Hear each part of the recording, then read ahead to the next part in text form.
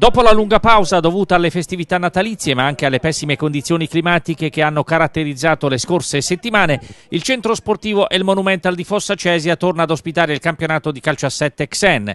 Le gare che riaprono il torneo sono quelle che caratterizzano l'ultimo turno di andata che mette in palio il platonico ma significativo titolo di campione d'inverno. Tre squadre lottano per la prima piazza, con due di queste che si affronteranno nello scontro diretto del martedì. Nel turno conclusivo che precede il Giro di Boa, la prima giornata fa la parte del Leone, con la disputa di tre delle quattro gare in calendario. Ad aprire la serata ci pensano i per noi C7, impegnati a risalire la china dopo un avvio stagionale deficitario, ma con notevoli segnali di miglioramento col trascorrere delle settimane, e il Real Lanciano che vuole allontanarsi dalla coda, approfittando del turno di riposo del Green Team La Villetta. La gara si sblocca al dodicesimo quando Altobelli sorprende Rei con un gran sinistro dalla distanza che si infila nell'angolo alla destra dell'estremo frentano. Quest'ultimo deve arrendersi anche al diciannovesimo quando subisce il bis siglato stavolta da Silveri che va a segno da distanza ravvicinata. I frentani sono costretti ad incassare altre due segnature a stretto giro.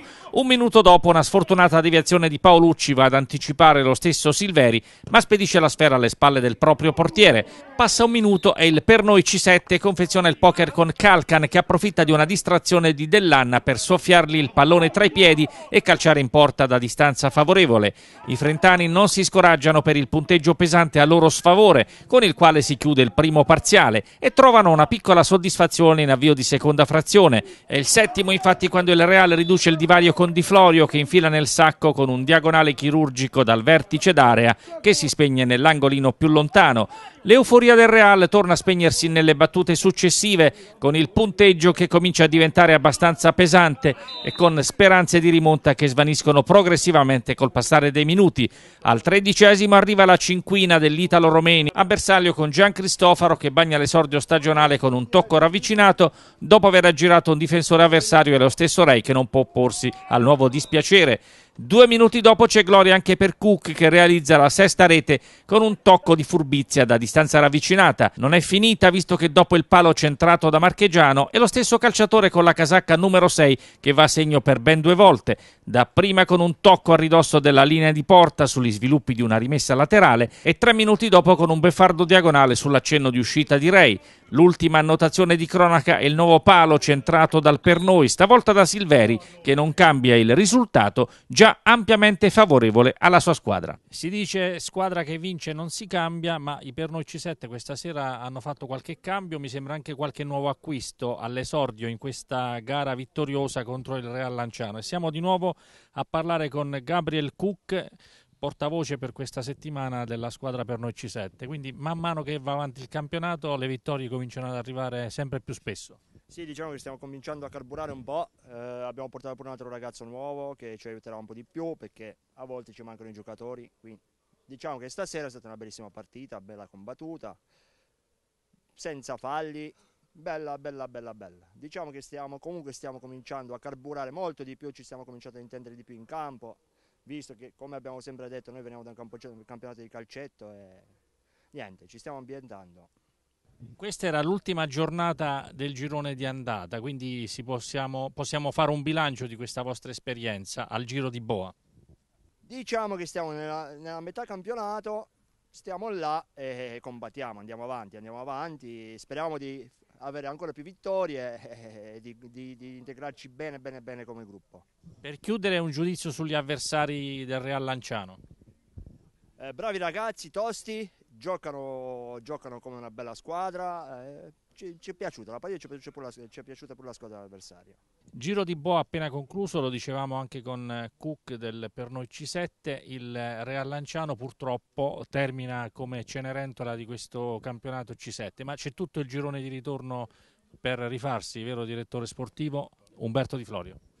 Sì, ehm, questa sera siamo partiti un po' a freddo, loro erano belli caldi, sono con uno spirito agonistico importante, anche qualche defesione ci ha condizionato, ma il girone di ritorno ci rifaremo sicuramente. Non termineremo come Cenerentola perché è un titolo che non ci spetta. Grazie, buona serata a tutti. No, anche perché eh, mi sembra che siete strutturati abbastanza bene, c'è l'allenatore, il direttore sportivo, quindi mancano solo i risultati. Sì, sì, siamo una società abbastanza seria, difatti siamo, siamo primi al campionato amatori girone B. Eh, prendiamo la cosa con abbastanza impegno, anche con grandi elementi. Purtroppo non riusciamo sempre a gestire tutti gli impegni che abbiamo, famiglia, lavoro e quant'altro, e ci dobbiamo adattare con quelli che abbiamo disponibili, insomma. Questo è quanto. Così come ho chiesto a Cook un giudizio sulla squadra avversaria. No, loro sono in forma, si vede, ci si dedicano parecchio, non so in che posizione di classifica si trovino, insomma, ma è un qualcosa di, di bello. Bella squadra, bel ritmo, bei, bei giocatori, grande prestazione. Eh, visto che sei il direttore sportivo, qualche nuovo acquisto perché l'altra squadra stasera ha presentato dei nuovi elementi. Eh, nuovi acquisti purtroppo questa sera non sono venuti, salvo il numero 4 che è un ragazzo che preso quest'anno, Nico Fantini, buon esterno. Cerchiamo veramente un portiere e un difensore centrale di, di riserva perché siamo un, siamo un, po', a corto. Se qualcuno vuole, vuole offrirsi, non lo so, valutiamo proposte. Non perdi tempo. Non perdi tempo.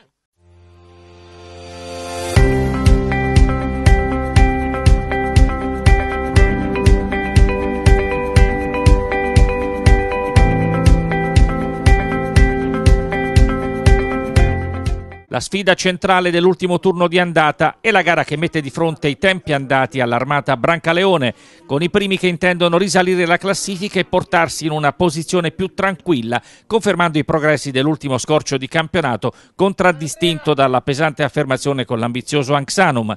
L'armata Brancaleone che si presenta in campo con una iniziale inferiorità numerica ristabilita nelle battute successive, cerca il lascia passare per non perdere terreno dal terzetto di testa, ma i piani non sembrano andare come preventivato, visto che sono i Blaugrana dei tempi andati a rompere gli equilibri dopo tre giri di lancette e Fantini ad andare a segno con una conclusione a ridosso del fondo campo che riesce a sorprendere Sec. I giallorossi riagguantano il risultato con Di Loreto che infine in rete con un tap-in vincente, approfittando della corta respinta di Andreoli sul precedente diagonale di Andrea Pellicciotta. I tempi andati tornano a condurre al sedicesimo grazie ad Andrea Zangolli che festeggia il nuovo vantaggio con un guizzo davvero rapace d'area sugli sviluppi di un tiro dalla bandierina.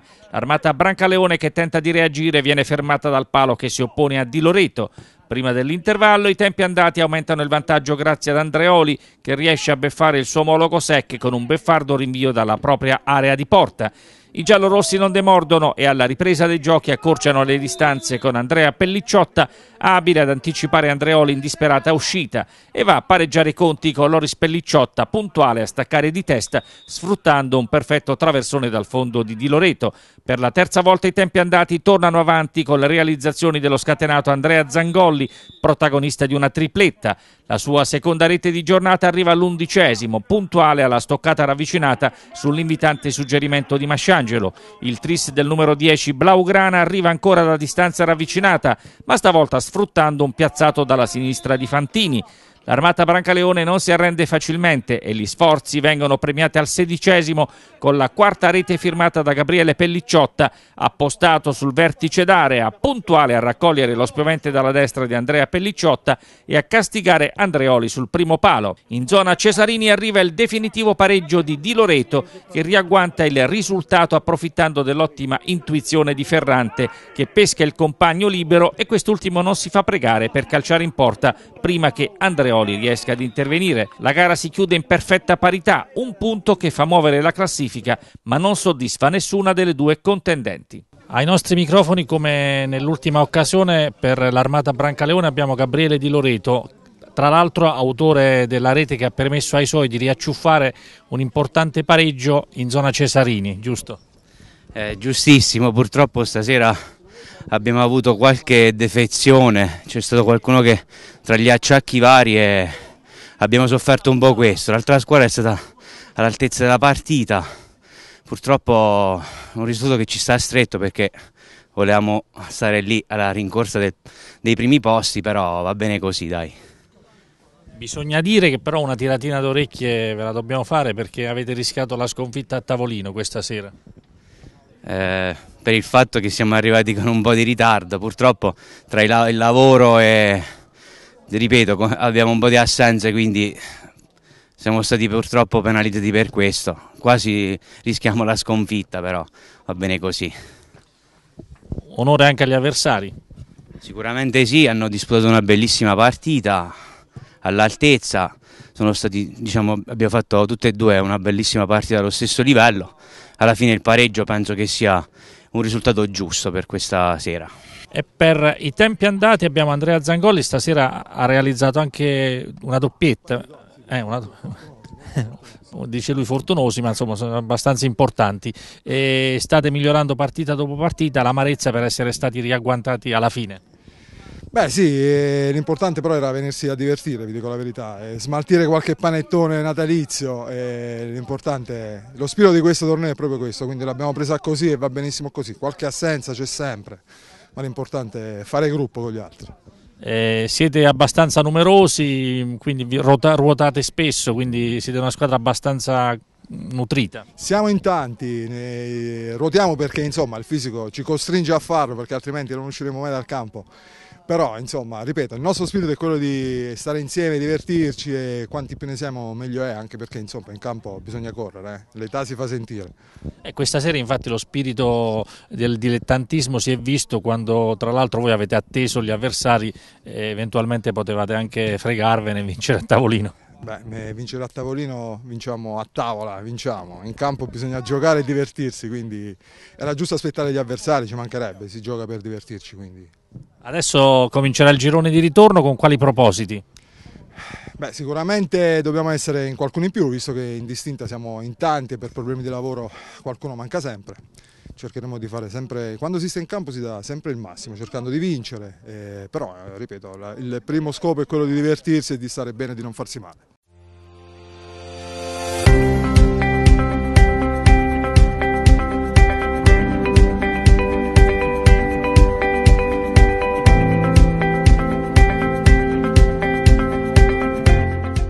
Serata si chiude con l'ambizioso merengue privo del febbricitante Staniscia, ma ugualmente in grado di far sua la partita e coltivare sogni da primato in attesa dello scontro al vertice tra Anxanum e Vecchie Glorie, che affronta l'AS di Mozzagrogna, squadra di metà classifica e dalle buone individualità, ma destinata nello specifico a pagare lo scotto anagrafico, vista l'età media notevolmente superiore ai biancazzurri, che alla fine trovano giovamento da questo punto di vista, soprattutto per la tenuta fisica. La gara si sblocca al quinto con i biancazzurri a segno con Sagarese, che di rapina anticipa l'estremo biancorosso approfittando di un precedente svarione della difesa avversaria. Il Mozzagrogna non si abbatte e tre minuti dopo trova il pareggio con Cianfrone che fulmina la Brozzi con un perfido diagonale dalla distanza. I biancorossi potrebbero anzi ribaltare il punteggio con il bolide di Amaddeo che si stampa sul palo alla destra di Labrozzi. Scampato il pericolo, le merenghe tornano avanti con Lanci a segno con un sinistro di prima intenzione dal vertice d'area e lo stesso Lanci a far decollare il punteggio tornando nel tabellino marcatori con un tocco di fino dopo aver messo a sedere un paio di avversari. Il punteggio comincia a diventare pesante con tre reti dei biancazzurri nel giro di altrettanti minuti. Al diciannovesimo ci sono addirittura due reti, la prima con Sagarese che si trova in traiettoria sul tiro dalla distanza di lanci e da due passi in fila alle spalle dell'estremo biancorosso e pochi istanti dopo con lo scatenato lanci che per la terza volta imprime il proprio sigillo, stavolta con un preciso diagonale sull'assist di Sferrella che si stampa sul palo più lontano e termina la sua corsa in fondo al sacco. Due minuti dopo il vantaggio diventa tennistico con la fortuita deviazione di Amaddeo che infila nella propria porta nel tentativo di impedire a Sferrella di offrire l'assist invitante per Sagarese.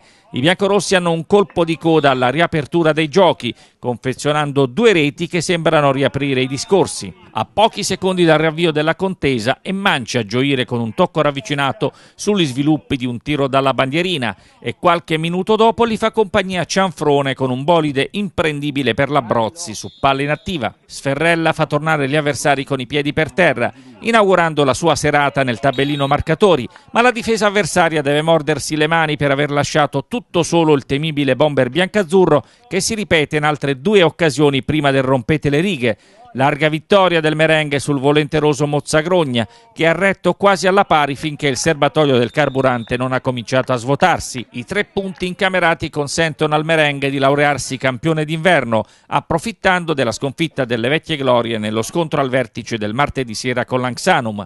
Alle vecchie glorie non sono bastate le reti di Matteo Massimini, del bomber Antonio Di Battista e di Francesco Primavera. L'Anxanum si è imposta infatti con le doppiette di Gianluca Rullo e di Riccardo Pagano. Appuntamento anche con le nostre telecamere per lunedì prossimo, giornata d'avvio del girone di ritorno. Tre gol per Bruno Sferrella che torna a guidare la sua squadra, le merenghe oggi vittoriose contro un ottimo ASD Mozzagrogna. Un giudizio su questa gara e poi sul girone di andata che è appena terminato per quanto vi riguarda. Ciao Antonio, buonasera. Allora, per quanto riguarda la partita di oggi, è stata bella partita maschia, combattuta, anche se abbiamo giocato con una squadra età avanzata, però una bella squadra, si sono difesi bene bella partita dura. E per quanto riguarda il giorno d'andata siamo più che soddisfatti, noi penso che siamo tra le prime, se non primi, secondi o terzi massimo, siamo comunque a buon livello, siamo tutti lì, la classifica è corta, un bel torno ci divertiamo, togliendo il freddo e l'umidità però siamo bene. Vabbè, tra qualche mese poi le partite si giocheranno a temperature più miti. Quale squadra secondo te vi darà del filo da torcere per la vittoria finale? Ma allora ci sono due o tre squadre, mo i nomi non è che me li ricordo tutti, ci sta Xanon Viaggi, sta l'Armata Brancoleone se non mi sbaglio, è un'altra squadra ancora, non mi ricordo il nome, le vecchie glorie mi sembra.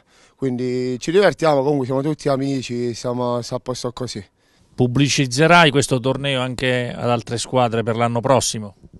Sì, sì, ma già lo stiamo facendo, anche grazie al tuo aiuto comunque. Ogni volta tutti chiedono dove è stata a giocare di qua e di là, quindi penso che come primo anno sta andando bene, il prossimo anno andrà sicuramente molto meglio.